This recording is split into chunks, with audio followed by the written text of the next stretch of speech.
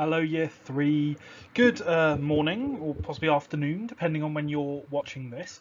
Um, we are doing another lesson today, looking at this question of where we can see evidence of Christian belief in London. So in the first lesson, we looked at the history of Christianity and how it first came to the UK in 300 AD, uh, and we looked at, uh, what did we look at?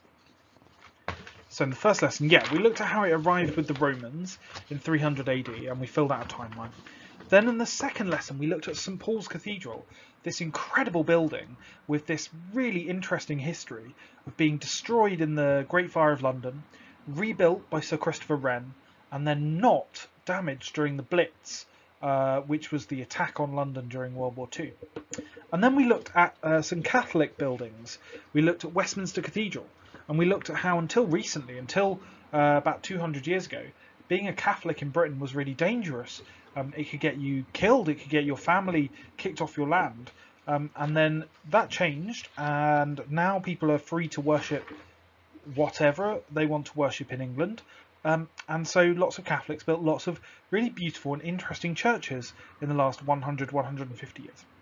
And today we are looking at three pieces of art and I know you're so experienced and so brilliant at looking at religious art from last half term, so this should be no challenge to you. Well, might be a challenge, but it shouldn't be a problem. Um, and we've got three different pieces of art that we're going to look at. All of these, you can find these in the National Gallery.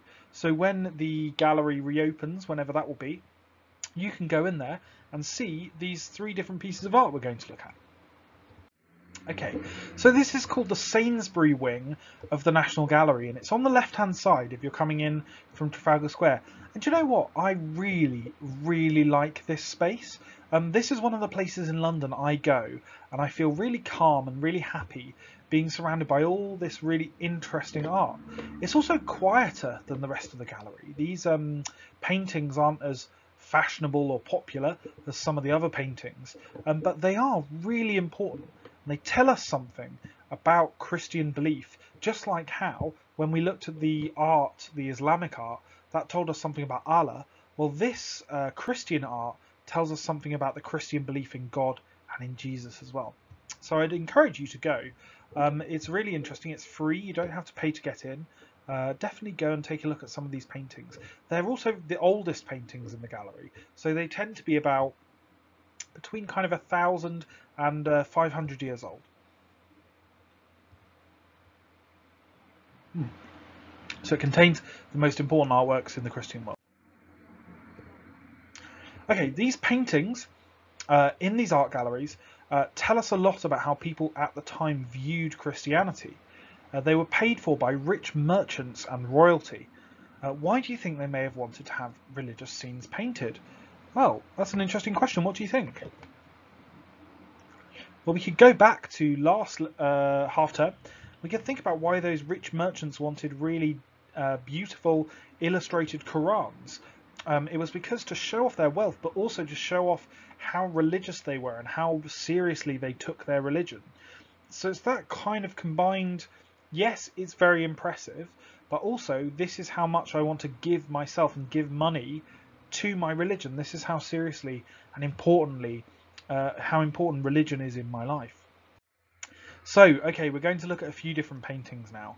Um, and for each one, uh, you can pause the video as we go along and fill in your booklet. So on the uh, right hand side, it says, how does the artist show the figures are special? So all the people in this painting, I'm going to point out the ways in which the artist shows that they're very special. Um, and as we go along, you can fill out in this box here, keeping track, making notes of how each painting, the artist shows that the figures in that painting are special. Just stop for a moment, pause. Been rather doing a lot this half term, so I think it's just interesting to pause and take a look at some of the art that we're going to look at.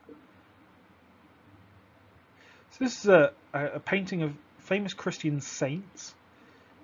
Um, saints are really important people in Christianity. They are people who the church, um, the Catholic Church, but also the Church of England, have decided are going to have a special place in Christianity. So some saints are quite modern. For example, there's a saint called Oscar Romero who only died about 50 years ago, and he became a saint recently. And some saints are really old. So, for example, Joseph, who was uh, Jesus' father, is considered a saint. The people who wrote the Bible, uh, the Gospels, Matthew, Mark, Luke, and John, are considered saints. And on here, actually, they will be um, here somewhere. This is John the Baptist here. Um, all of these figures are really important people in the Christian uh, tradition. So, what do you notice about how this painting is painted? What comes across looking at this painting? Well, for me, uh, one word comes across when I look at this, and that word is gold. How much gold is being used here? Gold in the halos, gold in the background, gold in their clothes and what they're carrying, gold in the staff here, gold in the dress, gold in the, the shawl, gold, gold, gold. And gold is, of course, we know, a precious metal. It's expensive, even to use it in a painting at this time was expensive. This is uh, a type of gold called gold leaf. It's actually made from real gold. Um, so again, showing how important these figures are. Also, you'll see a lot of blue, blue, blue, blue, blue. Blue is another really important colour in, in Christian art because blue, and it might surprise us now, but blue was a very expensive colour to have. There was um, paint used to be made from like ground up minerals, ground up rocks, and one in particular called lapis lazuli. Isn't that just a beautiful word? Lapis lazuli. Um, that's what they used to make blue paint, and it was the most expensive paint you could make was blue paint. So if you see blue, um, mother, the Virgin Mary, she was often wearing blue in paintings because of how expensive it is. So we can just tell by looking at this, even without knowing who these individual saints are, we know uh, that this is a very expensive painting. It's a painting that shows a lot of respect for the characters. So there's a painting with a lot of gold, which would have been very expensive. It has the halos around their head. So halo is like around here. And anyone who has a halo in a painting is either a saint or a character from the Bible or Jesus or very, very special and holy and religious. And they're all carrying objects related to their life. So some people are carrying books, some people are carrying leaves, some people are carrying these um, hooked sticks that are what a bishop carries. Uh, some people are praying, some people are uh, talking by the looks of it. You can see lots of interesting facts. This person here is holding a church, which suggests that he was in charge of that church. Uh, you know, you could spend all day looking at this and working out who these people were. It's really interesting. Let's have a look at our next painting. Well, what colour are we seeing here? So this painting shows Mary, who is Jesus' mother, and Jesus, who is this figure here, with a group of angels. Okay, what are we seeing in this painting? You tell me. Blue and gold, right? That's what I see when I look at this. Blue, um, this expensive colour, which shows the level of respect that is afforded to these people. It shows the level of uh, respect that the person who ordered this painting to be made had for these people. So Mary is wearing a blue shawl and the angels are wearing blue. And what's the other colour? It's gold. It's that expensive, shiny, beautiful gold paint again.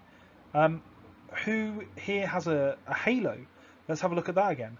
Well, Jesus and Mary these two figures. Jesus, of course, Christians believe is the Son of God, and Mary, um, incredibly important in Christianity, as Jesus' mother. So they've both got halos. Jesus has gold, uh, and the angels and Mary are wearing blue. So that's really interesting. Uh, the angels, can you see here? Look, they've got wings. These are their wings. So they're ready to fly off up into heaven. That's what Christians believe uh, angels do. They they tra travel between heaven and earth. Okay, so this is called the Wilton diptych. Uh, a diptych, it's a funny word, isn't it? Diptych uh, just means that there were two paintings. So there would have been this one, there would have been another painting next to it. Um, and Wilton is in uh, Wiltshire. It's in, near Salisbury. So this would have been found in a church. And again, it shows the people of that church uh, just how important these figures are to them. Okay, let's look at our last uh, figure, or maybe we've got some labels. Yep, so the gold for Jesus's blanket, the gold halos, and blue being this incredibly expensive paint to paint with. Ah, okay, this is interesting. So this is our last one. Again, you can see this in the National Gallery. This is a, a statue of Mary, who's here, and Jesus, who's here. Um, it's we don't know who the artist was, but it's carved from ivory. I don't know if you've ever heard of ivory before. Ivory is elephant's tusks. So you know elephants have they've got a, trunk like that, but they've also got two big tusks. Um, in the olden days, and even sometimes now, those tusks are cut off uh, and used to make uh, art. Uh, used for all sorts of things. You Used to make piano keys out of them, but now they're used for, art or ground down to make medicine. Um, but it was again very, very, very expensive. So this ivory is again showing the value of Mary and Jesus. What I would just like to point out here very quickly is look at Jesus's face. That doesn't look like a baby who was born in the Middle East to me. That looks like a rich sort of Italian person um, of the time. This is going to come up again and again. Jesus often looks a lot more like the people who are paying for these paintings or these sculptures than actual Jesus would have looked like. So it's important to, to point that out and to look. Jesus wasn't white. Uh, Jesus was uh, Mediterranean. Jesus had darker skin. Uh, Jesus looked like the people who live in sort of Syria, Israel, Palestine now, rather than the people who uh, perhaps lived in Italy at this time hundreds of years ago. So uh, let's have a quick look. Yes, can you imagine how expensive it was to get elephant tusk to Italy hundreds of years ago? Um, do you think that this is what Jesus really looked like? Well, that's what we just talked about. So uh, hopefully uh, you're going to be filling out your sheet as we go along, perhaps pausing the video. Um, I will see you next week and we're going to talk about modern Christianity. We're going to talk about um, Jehovah's Witnesses, which are just like Catholics and Protestants, they're another type of Christian, uh, and how they spread the word of Christianity. I hope you enjoyed looking at this art. I hope it encourages you to go and look at some more art, whether it's Christian art or not Christian art. Um, for me, it's one of my favourite things to do in class. So hopefully you'll see this in RE as you go through the next couple of years. You'll keep seeing Christian or other art come back, so that's good. Um, have a lovely weekend, and I will see you next lesson. Bye, Year 3.